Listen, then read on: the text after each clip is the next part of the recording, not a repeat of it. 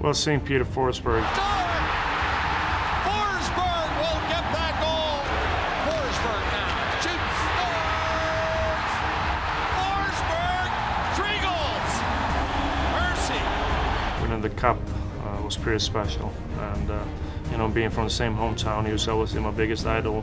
Peter Forsberg, in his second year in the National League, wins the Stanley Cup. When they brought brought the cup back to, to our hometown was, uh, you know, to see it uh, up close, personal, not touching it was was pretty cool.